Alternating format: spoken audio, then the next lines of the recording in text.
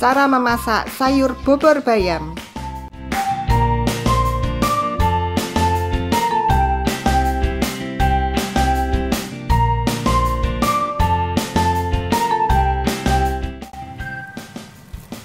Cara membuatnya pertama haluskan bumbu 2 siung bawang putih 2 siung bawang merah 1 sendok teh ketumbar 1 sendok teh garam 2 ruas kencur dan 3 buah kemiri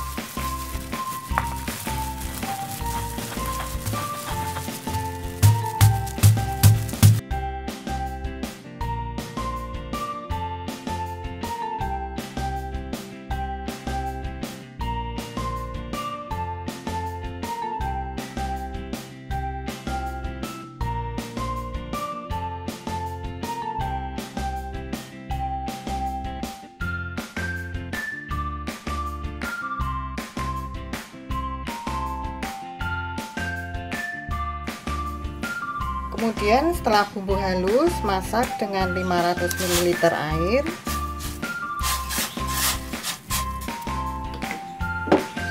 Tambahkan satu lembar daun salam dan sepotong lengkuas. Kemudian masukkan potongan labu siam. Tambahkan setengah sendok teh kaldu jamur dan juga satu sendok teh gula merah.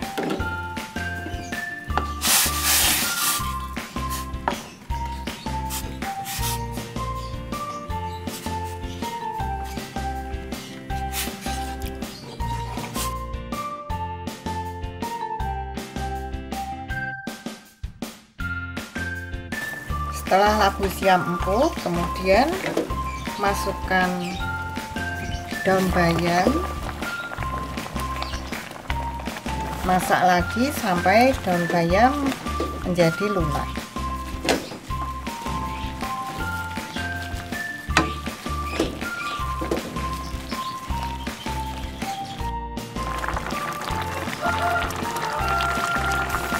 Terakhir masukkan 500 ml santan. Kemudian masak lagi sampai mendidih